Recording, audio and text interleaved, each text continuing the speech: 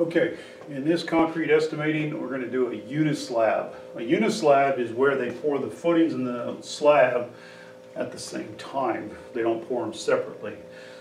So we're gonna figure out how much concrete it's gonna take to pour this structure right here, okay?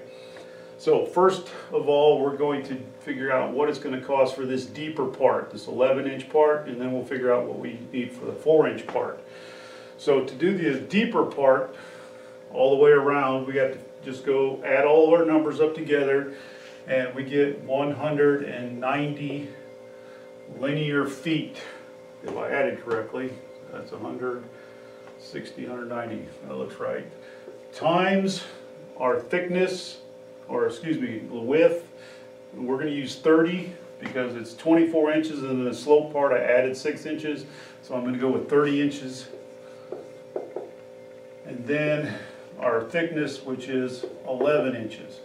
And since these are inches, we want them in feet, we're going to divide each one by twelve, so instead of thirty inches, I get thirty over twelve feet. Instead of eleven inches, I got eleven over twelve, so eleven twelfths of a foot, all right?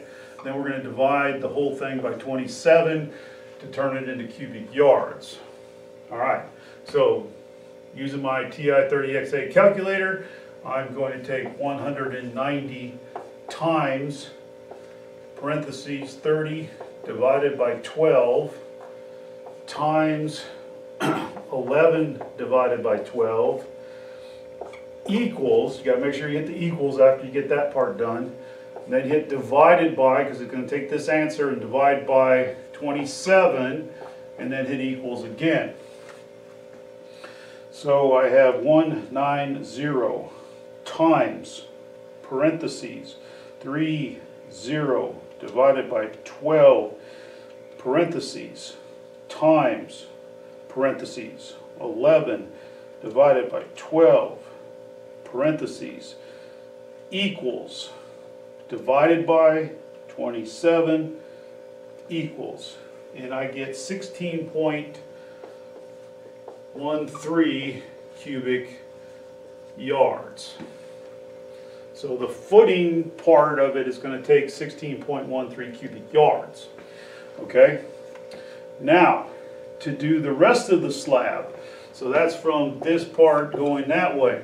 So what I'm gonna do is I have, I measure in thirty inches around, because we've already got that part calculated, so then I just have to do this big part, and then I'm gonna do it in two parts, and I'm gonna do this little part, okay? So thirty inches is a two and a half feet, so two and a half feet from each side, so this would be forty-five feet. And then, um, you have forty-five feet, and then it's thirty feet here, so I'm gonna subtract off five, so I have twenty-five feet, okay? And then down here, this becomes fifteen feet, and then the width would be ten feet.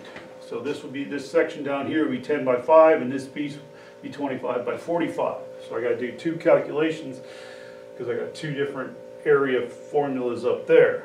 So I'm going to take uh, forty-five times twenty-five times four over twelve divided by twenty-seven, and then I'm gonna take uh, ten by fifteen. Ten by fifteen, yeah, this would be fifteen, that would be ten, times four over twelve. And then divide that by twenty-seven, okay? So this would be the same thing, it'd be forty-five times twenty-five times, and then you would put parentheses around this, parentheses around this. So the top half would be forty-five times twenty-five times parentheses four divided by twelve, parentheses equals, divided by twenty-seven equals thirteen point eight nine. thirteen point eight nine cubic yards. And Okay, so I made a little error on the first calculation, so I have to, I changed it. Um, When you're doing this over here, I subtracted off five feet for this, and then I subtracted off five feet for this, but there's only footings on one side of this, because it butts up against here, so I only had to take off two and a half feet. So the second calculation should have been fifteen times twelve point five times four divided by twelve. So fifteen times twelve point five times parentheses four divided by twelve parentheses equal by twenty-seven equals, so two point three one. And I add those together, I get thirteen, thirteen, uh, seven, ten, twelve, I get thirty-two point three, three cubic yards. Uh, let's use one point one five, so fifteen percent for three three times one point one five equals thirty-seven point, let's say thirty-seven point two cubic yards. So a little bit less. We used twenty percent before, and now we're only using fifteen, so you can see the difference in the extra concrete that you would have.